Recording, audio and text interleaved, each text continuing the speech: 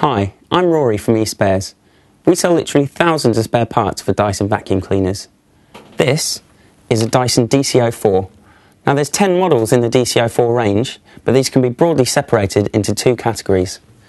Clutched models, which will have a clutch which looks like this, which sits inside the vacuum, and clutchless models like this DC04 Silver and Lime.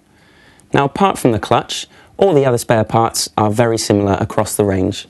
The most commonly replaced parts are stair tools, brush tools, as well as loads of other tools which are compatible with the DC04.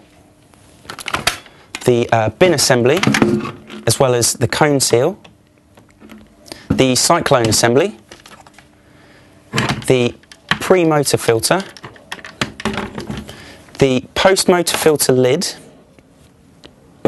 The post-motor filter. That one's a bit grubby, should replace that. The wand and wand handle cover, the hose assembly,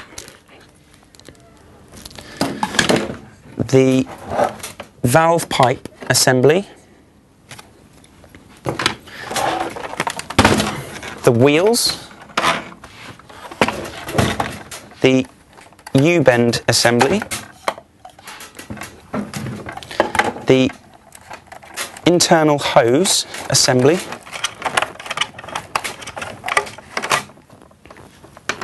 The sole plate and the brush roll. Now on this version, uh, the sole plate and the brush roll come as one spare part, but on certain DC04s they'll come separately. The belt sits in here.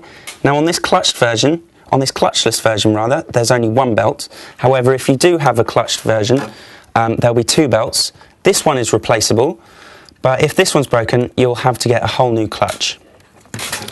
Um, there's also, of course, the motor, which is replaceable.